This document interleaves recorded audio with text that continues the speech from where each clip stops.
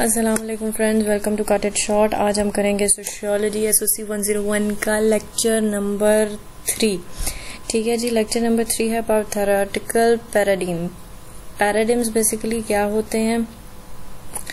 Paradigm uh, आप कह सकते हैं इमेज कि इमेज क्या है? किसी चीज़ की आपकी नज़र में या आ, किसी चीज़ का रोड मैप क्या है? या एक चीज़ किस तरह एग्जिस्ट करती है और हमारे नज़रिए में किस तरह एग्जिस्ट करती है वो हम देखेंगे। थ्योरी हमें पता है anything which is based on facts and it is written ये हमारे पास हो जाती है थ्योरी ठीक है बेसिकली स्टेटमेंट्स होती है फैक्ट्स होते हैं जो कि हमारे पास रिटर्न फॉर्म में मौजूद होते हैं तो उसे हम कह देते हैं कि भाई ये तो एक थ्योरी है। चलें जी, हम देखते हैं कि इस लेसन को इस लेसन में क्या बातें हुई हैं और जल्दी से इनको समझ लेते हैं और ऐसे समझते हैं कि हमें इन्हें बस आपको लेक्चर ही सुनना पड़े और उसके बाद आपको याद करने की या पढ़ने की ज़रूरत ना पड़े इनशाला चलें जी लेसन स्टार्ट करने से पहले हैव रिक्वेस्ट कि प्लीज़ चैनल को लाइक कर दें शेयर करें सब्सक्राइब करें, ताकि थोड़ी मोटिवेशन मुझे भी मिले। अच्छा जी लेसन नंबर थ्री क्या कहता है कि थ्योरी सबसे पहले आपको वो दोनों टर्म्स को डिफाइन करें कि थ्योरी क्या होती है और पैराडिम क्या होती है। आप उन्हें वर्ड से समझ लें थ्योरी क्या होती है। कोई भी स्टेटमेंट्स होते हैं फैक्ट्स होते हैं, जो कि आपस में रिलेटेड होते हैं और जॉट डाउन होते हैं। मतलब एक जगह इकट्ठे कर लिए गए होते हैं, वो फैक्ट्स एंड वो फिगर्स वो स्टेटमेंट्स जो आपस में रिलेटेड हैं। ठीक है जी? आगे हम चलते हैं। पैराडिम क्या होती है? पैराडिम बेसिकली होता है is an image of society ठीक है? इमेज जो हमारी नज़र में सोसाइटी क्या है, किस तरह है, क्या क्या रोड मैप फॉलो करती है, वो चीज़ें हमारे लिए क्या हो जाती हैं? पैराडिम ठीक है? अब इस चीज़ को मैं आपको एक, इससे बता देती हूँ, यहाँ पे जो लिखा है in building theory sociologist faces two basic facts What issue should we study? How should we connect the facts? How sociologists answer the questions depend upon their theoretical paradigm.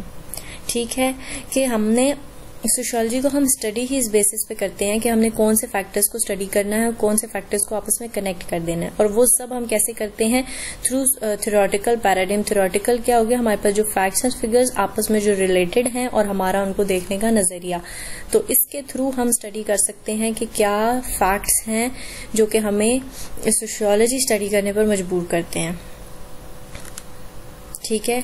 यहाँ पे उन्होंने आपको एक दो और एग्जाम्पल्स दी हुई हैं। Do societies remain static do they continuously keep on changing what keeps them stable what make societies ever changing ठीक है? मतलब ये कि ये वो सवाल हैं जो सोसाइटी से रिलेटेड हमारे माइंड में आते हैं और इनको आंसर करने के लिए हम थ्योरेटिकल पैराडिम का सहारा लेते हैं। मतलब ये कि सोसाइटी क्या हमेशा ऐसी ही रहती है? क्या चेंज होती है? क्या नहीं चेंज होती? क्यों चेंज होती है? क्यों नहीं चेंज होती है? ठीक है जी? अब तीन मेजर पैराडिम्स ठीक है रोड मैप्स जो कि हमें मजीद अंदर तक इसकी रूट्स को स्टडी करने में मदद देते हैं, वो ये तीन हैं जिनके मुतलिक आपसे शॉर्ट लॉन्ग एमसीक्यूज सब पूछा जा सकता है, ठीक है जी? वो हैं हमारे पास तीन, पहला है structure functional paradigm social conflict paradigm and symbolic interaction paradigm अच्छा जी, सबसे पहले हमारे पास आता है स्ट्रक्चर फंक्शनल पैराडिम ठीक हो गया। ये आपको नाम से ही हमें पता चल रहा है कि स्ट्रक्चर हम सोसाइटी का स्ट्रक्चर देखते हैं और फ़ंक्शन और सोसाइटी का फ़ंक्शंस देखते हैं। ठीक है? इससे बड़े आसान अल्फाज में इन्होंने यहाँ पर डिफाइन किया हुआ है कि our live are guarded by social structure social structures क्या हैं? सोशल स्ट्रक्चर्स हैं फैमिलीज़ वर्क प्लेसेस क्लासरूम्स मतलब ये आपके पास क्या है? ये सोशल स्ट्रक्चर्स हैं। मैं मैं हूँ, मेरा एक फैमिली है, मेरे खानदान है। वो एक सोशल स्ट्रक्चर हो गया। ठीक है, मैं यूनिवर्सिटी जाती हूँ। वहाँ पे मेरे क्लास फेलोज हैं। वहाँ, वहाँ पे एक और सोशल स्ट्रक्चर बिल्ट हो गया। मैं ऑफ़िस जाती हूँ। वहाँ पे एक और सोशल स्ट्रक्चर बिल्ट हो गया मेरे एम्प्लॉयज़ के साथ। को एम्प्लॉयज़ के साथ, मेरे बॉस के साथ।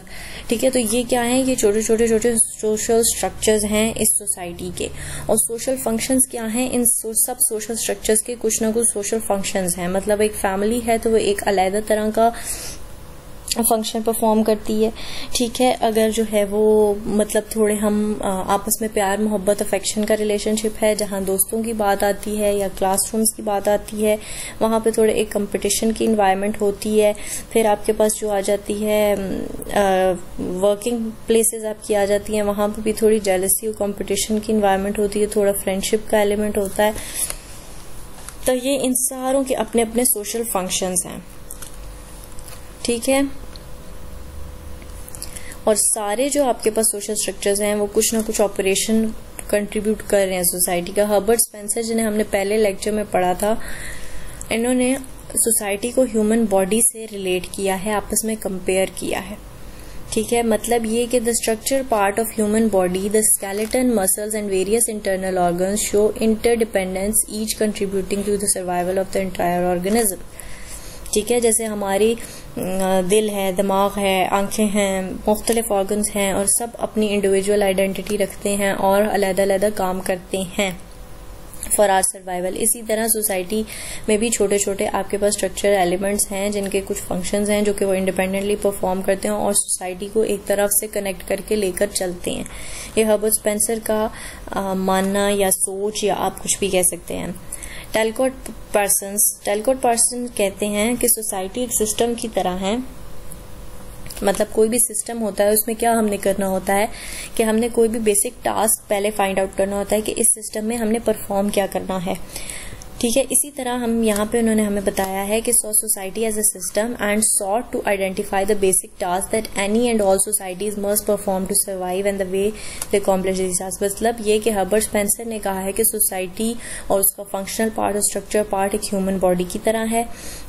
टेलकॉट पर्सन हमें कहते हैं कि uh, जो हमारी uh, सोसाइटी है, वो एक सिस्टम की तरह है, जैसे एक सिस्टम को पहले गाइडेंस चाहिए होती है कि उसे क्या टास्क परफॉर्म करना है और फिर वो वो सर्वाइवल के लिए वो टास्क परफॉर्म करता है। इसी तरह जो है वो टेलकोट पर्सन कहते हैं कि वो सोसाइटी एक सिस्टम की तरह है। और जो रॉबर्ट के मार्टिन है रॉबर्ट के मार्टिन ने इसको ज़रा मुख्तलिफ़ तरीके से देखा है, वो क्या है हम आपको बताते हैं।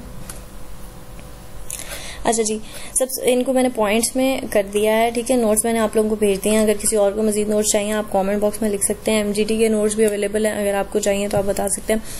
Consequences of any social pattern are likely to differ from various categories of people ठीक है जी? फॉर एग्ज़ाम्पल मैं एग्जाम्पल्स आपको समझाती हूँ।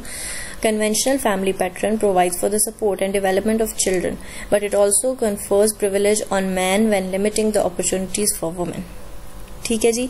वो कहते हैं कि सोशल पैटर्न्स जो हैं या हम जो आ, कह रहे हैं कि सोशल स्ट्रक्चर्स हैं वो हमारे पास काफ़ी हद तक एक दूसरे से डिफर करते हैं। ठीक है? वो सिर्फ़ जो है वो एक बॉडी के ऑर्गन्स या एक सिस्टम नहीं है वो काफ़ी तरह से मुख्तलिफ़ हैं।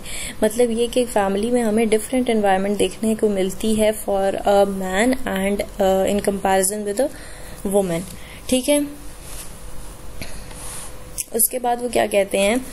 People rarely perceive all the functions of a social structure. He therefore distinguish between manifest functions and latent functions. इससे कुछ तो आपको याद आया होगा manifest एंड latent से पर ये थोड़ा सा उससे मिलता जुलता है मैनिफेस्ट फ़ंक्शंस वो हैं जो कि रिकोगनाइज्ड हैं और इंटेंडेड सोशल पैटर्न्स हैं और लैटेंट फ़ंक्शंस वो हैं जो अनरिकोगनाइज्ड हैं ठीक है मतलब manifest functions of educational institute क्या हैं नॉलेज प्रोवाइड करना। लेकिन लैटेंट क्या है? आपका जो है वो उनकी अर्निंग मतलब ठीक है जैसे बिज़नेस के तौर पे वो इस, चीज़ को यूज़ करते हैं। मैं फिर से आपको दोनों पॉइंट्स को क्लियर करने की कोशिश करती हूँ। पहला पॉइंट ये है कि वो कहते हैं कि सोसाइटी में एक पैटर्न नहीं है। ठीक है? वो एक दूसरे से डिफर करता है। डिफर कैसे करता है कि एक फैमिली है जो कि एक आपके पास सोशल सेट है सोशल स्ट्रक्चर है, वहाँ पे डिफरेंस एग्जिस्ट करता है डिफरेंट जेंडर्स के लिए। सेकंड पॉइंट पे वो ये कहते हैं कि सोसाइटी में दो तरह के फ़ंक्शंस हैं सोशल स्ट्रक्चर्स के मैनिफेस्ट फ़ंक्शंस और लैटेंट फ़ंक्शंस मैनिफेस्ट वो हैं जो कि जाहिरी दिखते हैं। लैटेंट वो हैं जो जाहिरी नहीं दिखते। फॉर सपोज़ एक क्लासरूम है, उसका मकसद क्या है? उसका मैनिफेस्ट मकसद ये है कि वो एजुकेशन प्रोवाइड कर रही है, बच्चों को सिखा रहे हैं। लेटेंट मकसद उसका ये है कि हमने इनसे फीसें बटोरनी है और चौंचलों में इन्वॉल्व रखना है और कलर डे और ये चीज़ें मनानी है। और जो है वो एज अ बिज़नेस इसको लेके चलना है। थर्ड पॉइंट पे वो क्या कहते हैं? Not all the effect of any social system benefits everyone in society हमने कहा है ना कि हर सोशल स्ट्रक्चर का जो है वो कोई ना कोई काम है। तो वो ये कहते हैं कि हर सोशल स्ट्रक्चर का काम सोसाइटी को बेनिफिट नहीं दे रहा, ऐसे भी हैं जो कि सोशल डिसफंक्शन कॉज कर रहे हैं। ठीक है? मतलब वो ये इनका अपना कहने के मकसद है। मतलब ये कहते हैं कि अगर एक औरतों का ग्रुप सोशल जो है वो वुमेन एम्पावरमेंट पे निकल आता है या फेमिनिज्म पे निकल आता है मार्च करने तो वो किसी भी तरह से सोसाइटी को बेनिफिट नहीं दे रहा है, वो सोसाइटी का डिसफंक्शन है। ठीक है? तो इनके जरा कंट्रीब्यूशन ज़्यादा थी। बाकियों ने थोड़ी थोड़ी बात की। हर्बर्ट स्पेंसर ने कहा है कि जी सोशल स्ट्रक्चर ह्यूमन बॉडी की तरह है। टेलकॉट पार्सन कहते हैं कि सोशल स्ट्रक्चर जो है वो एक सिस्टम की तरह है और रॉबर्ट के मार्टन ने तीन बातें की हैं। एक तो इन्होंने ये कहा है कि हर सोशल स्ट्रक्चर के मैनिफेस्ट और लैटेंट फ़ंक्शन होते हैं। दूसरा इन्होंने कहा है कि सोशल पैटर्न एग्जिस्ट नहीं करता डिफरेंस है कैटेगरीज में। तीसरा वो ये कहते हैं कि हर तरह का सोशल स्ट्रक्चर फ़ायदेमंद नहीं होता। इट कैन कॉज डिसफंक्शंस अच्छा जी। इसके बाद इन्होंने कहा है कि इस इस जो ये पैराडिम है, इसके बारे में क्या कॉन्फ्लिक्ट पाए जाते हैं, या क्या इसको क्रिटिकली किस तरह देखा जाता है? अच्छा इसको इस तरह देखा जाता है कि इन्होंने कहा कि जी सोसाइटी है सोसाइटी में स्ट्रक्चर्स हैं स्ट्रक्चर्स जो है वो फ़ंक्शन परफॉर्म करते हैं और सब खुशबाश हैं। ठीक है? तो इसका क्रिटिकल एवोल्यूशन ये था कि जो इनइक्वालिटी सोसाइटी में जनरेट हो रही हैं जो टेंशन हैं जो कॉन्फ्लिक्ट्स हैं उनको कौन कवर करेगा? मतलब अगर सारे सेट्स हैं और अपना अपना रोल परफॉर्म कर रहे हैं फिर तो कोई किसी किस्म की इनइक्वालिटी या कॉन्फ्लिक्ट है ही नहीं है।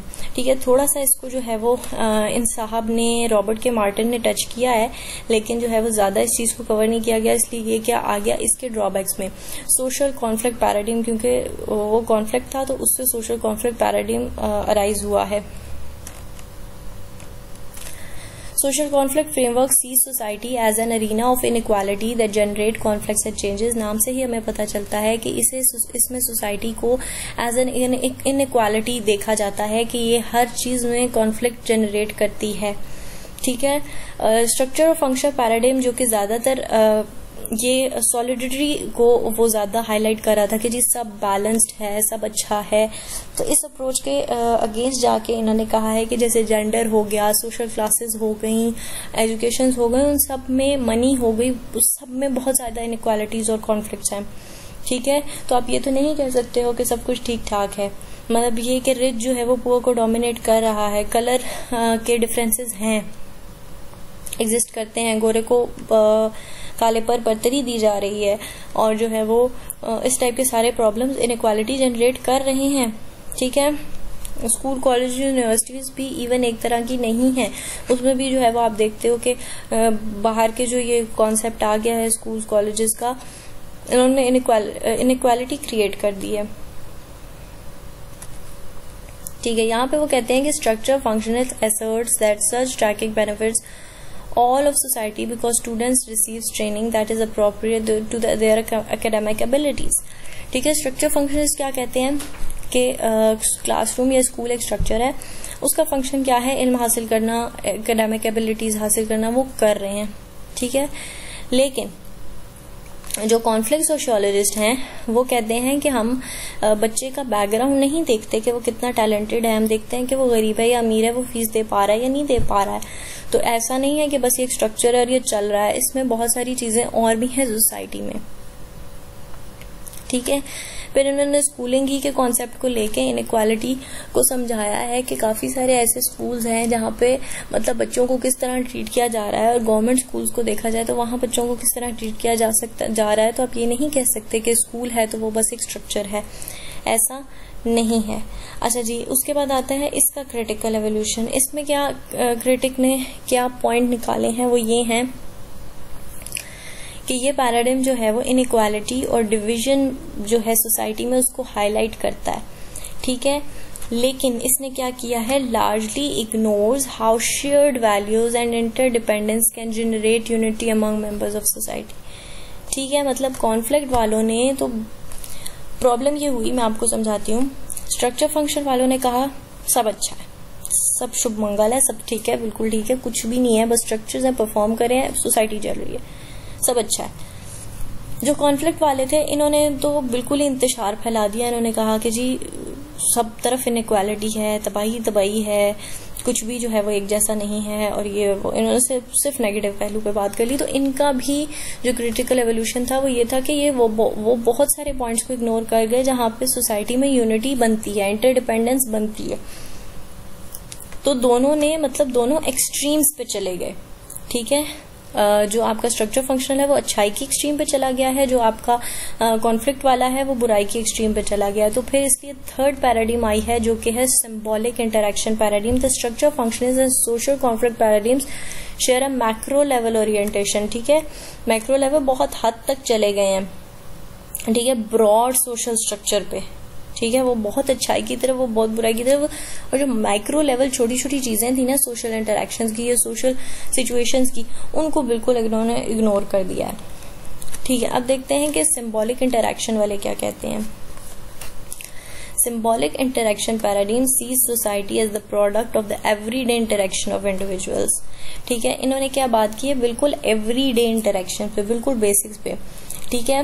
Society amounts to be shared reality that people construct as the interact with one another इन्होंने बात की है एक पर्सन के दूसरे पर्सन के साथ डेली इंटरेक्शन पे। इन्होंने मेजर लेवल पे तो बात ही नहीं की कि इनक्वालिटीज हैं या यहाँ पे ठीक है मामला या वहाँ पे ठीक नहीं है। इन्होंने बड़े बेसिक लेवल पर बात की। अच्छा ठीक है। इनका ये कहना था कि ह्यूमन बींग जो है, वो एक तरह से सोशल एनिमल है। ये एक दूसरे से अटैच होते हैं through symbols through communications through verbal and non verbal communications मैंने बताया हुआ वर्बल नॉन वर्बल के बारे में आपको। ठीक हो गया जी? Therefore, symbols are the basis of social life. Without symbols, we have no mechanism of perceiving other in term of relationships. ठीक है मतलब ये कि हमने हर इंसान के लिए एक सैंपल बना लिया। ये अंकल है आंटी है एम्प्लॉय है ये टीचर है ये स्टूडेंट है फला फला फला। इस टाइप के सैम्पल्स हो गए। उसके अलावा आपके जो हाथों से आप जेस्टर्स देते हैं जो सैम्पल्स देते हैं उसमें वो भी इन्वॉल्व होते हैं। तो इन्होंने कहा है कि ये डेली इंटरेक्शन है और हम इन चीज़ों को डेली यूज़ कर रहे हैं। ठीक हो गया जी? आगे हम चलते हैं। इन्होंने वही बातें बार बार रिपीट की हैं। Symbol make social life possible symbol ही को बार बार उन्होंने उस पर ज़ोर दिया है, ठीक है? Even symbol even self is symbol for it consist the idea we have about we are ठीक है मतलब ये कि हम भी एक, जो है वो एक तरह से एक सैम्बल के थ्रू रिप्रेजेंट होते हैं। हम एज अ पर्सन है। हमारी आंटी, हमारे अंकल हमारे घर, हमारा ये वो फला फला फला, ये सारे सैंपल्स हैं। इन्हीं के थ्रू हम कोऑर्डिनेट करते हैं। इसके अलावा हमारे पास कोऑर्डिनेट करना पॉसिबल ही नहीं है। ये एक पॉइंट देख लेते हैं। We define our realities the definition could vary the definition could be subjective for example who is a homeless who is a police officer अच्छा ठीक है क्या? वही बात दोबारा मैं आपको यहाँ से दोबारा समझा देती हूँ। इन्होंने कहा है कि डेली इंटरेक्शन हमारा होता है सैंपल की बेसिस पे। सैम्पल्स क्या है? वो नाम, वो पहचान जो हम किसी को असाइन कर देते हैं, उसी के थ्रू हम कोऑर्डिनेट करते हैं, या वो डेफिनेशन जो हम किसी को असाइन कर देते हैं, या वो जो है वो पेशा जो हम किसी को साइन कर देते हैं, या कोई पहचान जो हम किसी को साइन कर देते हैं, हम उसी के थ्रू कोऑर्डिनेट करते हैं। उसके अलावा हमारे लिए कोऑर्डिनेट करना काफ़ी मुश्किल हो जाएगा। अच्छा अब इसकी क्रिटिकल एवोल्यूशन क्या हो सकती है? और ठीक है टाइम नहीं है कि हम क्वेश्चन आंसर खेलें, इसलिए हम बता देते हैं कि क्यों है। अच्छा जी, यहाँ पे हम पढ़ते हैं इसको without denying the usefulness of abstract social structure like the family and social class this paradigm remind us that society basically amount to people interacting how individual experience society this approach ignore the widespread effect of culture as well as factors like social class gender and race ठीक है? Critical evolution इसकी ये थी कि ये बहुत ही ज़्यादा specific हो गया था from person to person interaction इसने जो सोशल बड़े वाइड स्प्रेड मसले थे उसको इग्नोर कर दिया। पहले वाले का प्रॉब्लम ये था कि इसने कॉन्फ्लिक्ट नहीं दिखाए। दूसरे वाले का प्रॉब्लम ये था कि इसने जो है वो जो सॉलिडिटी थी उसको नहीं दिखाया। और जो क्रिटिकल एवोल्यूशन इसका आया वो ये था कि इन्होंने जो वाइड स्प्रेड पहलू थे उनको इग्नोर कर दिया। ठीक है आई होप कि आपको समझ आ गई होगी। नहीं समझ आए तो आप क्वेश्चन कर सकते हैं कमेंट बॉक्स नेक्स्ट लेक्चर जल्दी अपलोड हो जाएगा। टिल देन टेक केयर अल्लाह हाफिज़।